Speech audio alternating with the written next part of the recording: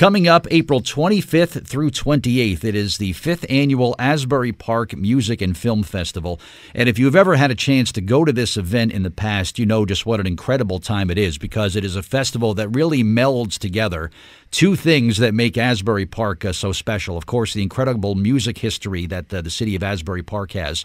And then when you include this film festival, where there's a lot of times it's original content that talks about Jersey and the music history and, and so many different things uh, in our history, and all kind of comes together, uh, all to benefit underserved children in the city of Asbury Park. And I'm telling you, it is one of my favorite destinations to go to uh, in the month of April. And there's some big things that are happening this time around. And here to talk about that is a special guest I have back with me inside the Jersey Central studios today.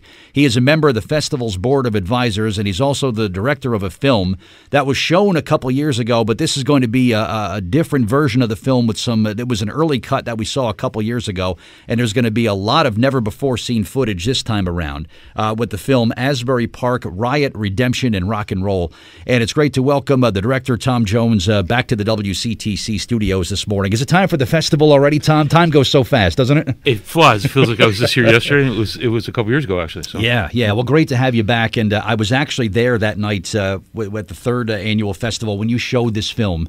Right. I was so captivated by it. Number one, because I learned so much as a little kid growing up in Jersey. 1970, I was two. I had no idea about the history of Asbury Park, and uh, you know, it was sort of like the go-between between Ocean Grove and Long Branch, where you right. kind of got the best of both worlds. Uh, but this uh, cut that you're going to be showing this time around, this is some footage that we didn't see a couple years ago.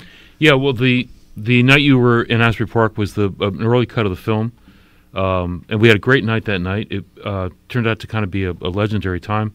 Uh, uh, Bruce Springsteen came to see the film as a surprise, and we had a great concert afterwards. It was headlined by Little Steven and yeah. the Disciples of Soul, and Southside Johnny, and Bruce sat in, and we had um, kids from Asbury Park, eleven year olds, who were just fantastic, just like lights out, fantastic, and they all played together with the veterans of the Upstage of kind of a infamous club uh, in Asbury Park from the late '60s that, that is one of the centerpieces of the film, and it was just a great night. So we we took um, an interview from Bruce, an interview from Max, and and that concert footage, and it's really about a fifty percent different movie. Wow. Okay. And, and now it's it's getting a, a sneak peek uh, Sunday, uh, April twenty eighth, and at the festival, and then it goes out worldwide on May twenty second to about 1,400 theaters oh, in congratulations. 28 countries. That's so, wonderful. So we're super excited. Yeah, that's really great news. But uh, to see this festival, and I talked to people that were kind of familiar with the music scene, and when I would mention the upstage to them, I get this look like, oh, the upstage. That's where the party was after the party. That's kind of the reputation that, that the upstage had, that these guys were playing Asbury.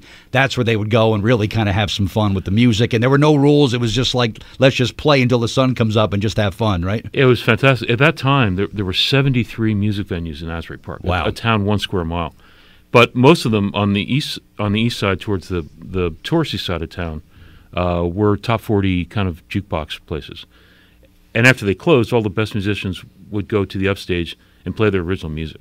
And if there was a rule, um, it was that you had to play your own stuff. yeah. Um, so they really loved it, and it was open from two to five. They kind of had that window, and um, everyone played their paying gig, go over the upstage play there, go home, sleep, and get up and do it again. And just to see footage of you know uh, Bruce before he was Bruce, you know, and see him kind of perfecting and honing his craft, and and Southside Johnny and all these guys that came out of Asbury, that and, and, and Little Steven, of course, now in the New Jersey Hall of Fame, and to see these guys in their early stages of their career just doing it because they loved it so much and they, they had such passion and energy for it. And I think for somebody who sees the film, you get kind of caught up in that because I know I did a couple years ago. I said this is great. I said not only is this a, a story that is told magnificently magnificently. This is part of our history and our culture. I'm so proud of this. And it was just such a great experience that I can't wait to go back and, and see it again in a couple of weeks. It's oh, going to be great. Thank you so much. And it was so much, I can't tell you how much fun it was to go up there. It, because Asbury report kind of missed several decades, the, the upstage was a time capsule when we went up to shoot. It was still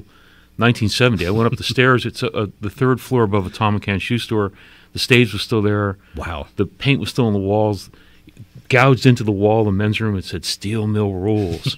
and you know, it, it, really was 1970. So when the first guys went back, uh, Vini Lopez and Joe Patillo and, and a great group of guys to play a concert, it was it literally was 1970. And then we we conducted a lot of the interviews.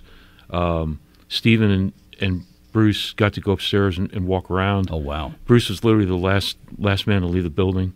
Um, the the owners very kindly held the demo till we could finish the interviews.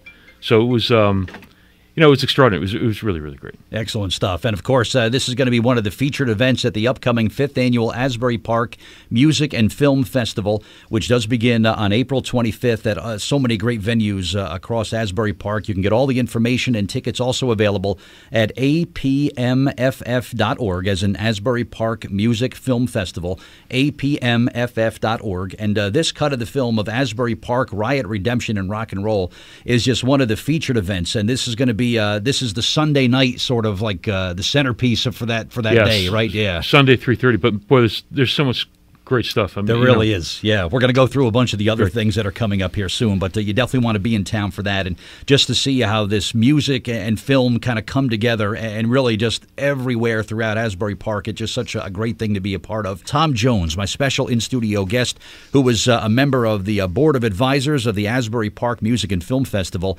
and also the director of the film called Asbury Park Riot, Redemption, and Rock and Roll.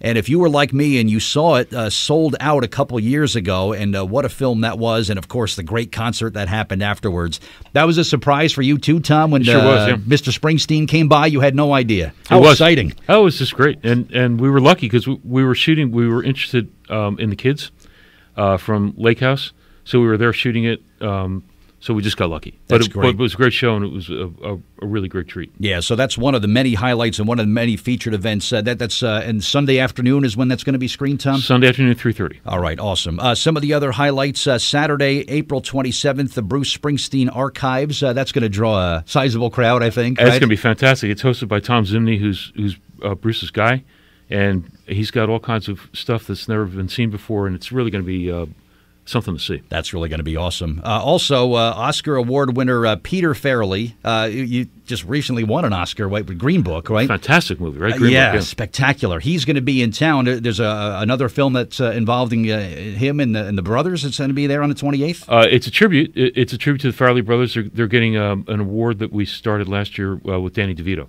Okay. So it's a um, a look back, a, a retrospective of their career, That's nice. and that's at the Stone Pony. Okay, wow, that's cool. Uh, also, uh, two-time Rock and Roll Hall of Fame inductee David Crosby, uh, along with Cameron Crowe. There's going to be a Q&A, and this is another New Jersey premiere, a film called David Crosby, Remember My Name, and it's a documentary about him, and he's going to be there too? He's going to be there. Oh, Cameron Crowe's there, so you know, Wow. terrific. And Cameron Crowe has a whole music background, as, as as you know, almost famous. So it's perfect for Asbury Park and perfect for the festival. Getting chills. This just gets better and better. How about uh, Jakob Dylan uh, is going to be there too, uh, playing some music, performing the music of the Byrds, the Beach Boys, Mamas and Papas. Uh, that's following the New Jersey premiere of uh, film Echo in the Canyon. That will be shown on Thursday, April 25th. Uh, that's at the Paramount. Um, and, just uh, so many other things. Uh, a story of this is a history of Creem magazine. I used to read that when I That's was a kid. That's right. Creem. Yeah, I'll look Um, back at that. It's pretty cool. and there's you know great music. There's there's good movies. There's uh, uh, jams at the Stone Pony and the Wonder Bar. Oh, man. So we think you should just come down. It's only a half hour from Central Jersey, and, and bring your sleeping bag and and uh, I was you know, going to spend say, the weekend. I was going to say, I'd be afraid of sleeping, of missing something here. you never know what's going to happen next. You right? know, all kinds of great stuff. Uh, this is going to be just four remarkable days uh, beginning April 25th. Again, it's the fifth annual Asbury Park Music and Film Festival. Uh, tickets and information at apmff.org. And, uh, and Tom, one of the really great things about this is uh, the, the, who this benefits. And this is to help out kids uh, in Asbury Park and, and music programs and ju- just making Asbury Park a better place. Yeah, music's always been Asbury Park's thing, and it's what's kept it alive through the dark years, and it's what's brought it back to this great uh, early Renaissance period. And uh, the festival is set up to benefit programs in Asbury Park that reach out to kids who otherwise wouldn't get music. And we have a great beat bus that goes around. Um, it's a, a rolling studio. There are programs in the schools, in the Boys and Girls Club. Uh, there's a great place called Lake House Studios that kind of leads the way. Mm-hmm. So super proud of that. Um, the the profits from the film, the film we made, the film's kind of like a, a product of the festival. Um, all the profits are going to go to, support those programs. And what Steven Van Zandt's doing, he has a fantastic C3 uh, that works on music education for kids. Wow. And we're hoping to create a new program that will pilot in Asbury Park and then take out uh, globally. Yeah. Um, and you know, we owe a lot of uh, debt to uh, the sponsors, of First Atlantic Credit Union, Yeah, sure. uh, RWJ Barnabas Health, and, and Asbury Park Press. Nice. Because without that, wouldn't happen. And for my film, uh, Jersey Mike's did, did us a huge favor in kind of absorbing the risk for us. So, Oh, wow. uh, you know, big thank yous to those guys. It's a, a big commitment, um, and they really do it to help the kids of Asbury Park. And we hope now we're going to be able to step it out and help kids in the rest of the country and in the rest of the world. Yeah, definitely. And uh, hopefully you'll have a chance to see this uh, on Sunday, April 28th. Uh, I saw, like I said, uh, a cut of it from a couple years ago, to, but to be able to see this again uh, on the 28th here, this Asbury Park Riot, Redemption, and Rock and Roll. When we get to that May 22nd, the, the charitable and the, and the giving continues for this movie, right? Yeah, yeah. So hopefully we'll fill up these 1,400 theaters and uh, generate a lot of money that we can take care of the stuff in Asbury Park and then step it out.